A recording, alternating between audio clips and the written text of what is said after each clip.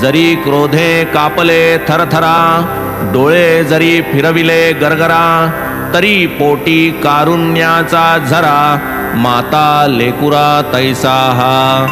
क्षणात वृत्तीवरी येता हाका मारुनी बाहती भक्ता म्हणती मी कोणावरीही रागावता थावेन चित्ता माझिया. माय हाणी लेकुरा लाता समुद्र करी नदिया परता तरीच मी होय तुम्हा अभेरिता करीन अहिता तुमचिया। मी माझिया भक्तांचा अंकिला आहे पासीच उभा ठाकला प्रेमाचा मी सदा भुकेला हाक हाकेला देतसे। हा कथा भाग लिहिता लिहिता ओघाने आठवली समर्पक कथा उदाहरणार्थ कथितो श्रोता सादर चित्ता परिसिजे। आला कल्याणवासी एक यवन सिदिक फाळके नामाभिधान। मक्का मदीना यात्रा करून शिर्डी लागून पातला।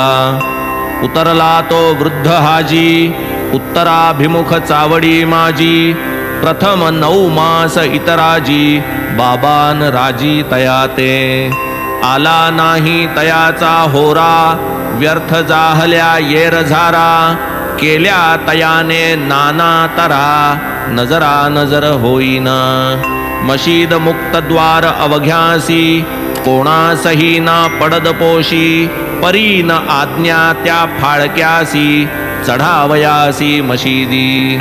फाळके अंतरी खिन्न झाले काय तरी हे कर्म वहिले मशिदीस न लागती पाऊले कायम्या केले पापकी कवण्या योगे प्रसन्न होती आता बाबा मजवर पुढती हाच विचार दिवस राती हृद्रोग चित्ती फाळक्यांचे.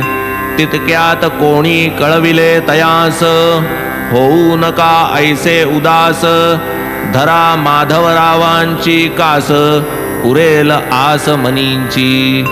आधीन घेता नंदीचे दर्शन.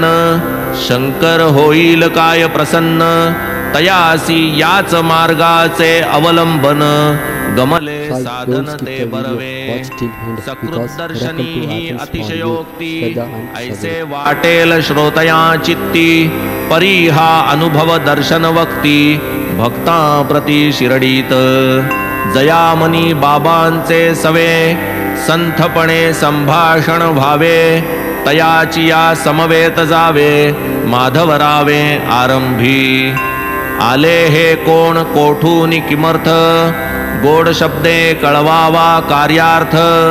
सुतो वाच होताच समर्थ। होत मग उद्युक्त बोलाया। ऐकोनिया ते हाजीने सकळ। माधवरावांस घातली गळ। म्हणाले एकदा ही माझी तळमळ घालवा दुर्मिळ मिळवून द्या. पडता माधवरावांस भीड केला मनाचा निश्चय दृढ.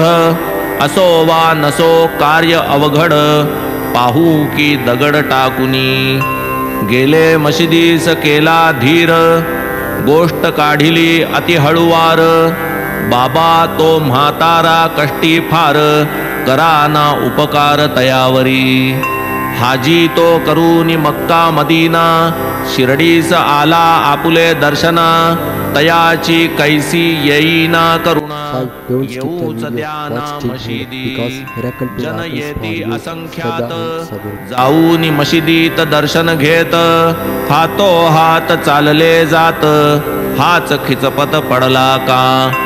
करा की एकदा कृपा दृष्टी होवो तयासी मशिदीत भेटी जाईल मग तोही उठा उठी कुसुनी गोष्टी मनीची. शाम्या तुझ्या ओठांचा जार अजून नाही वाळला तिळभर नसता अल्लाची खोदरत तयावर मी काय करणार तयासी?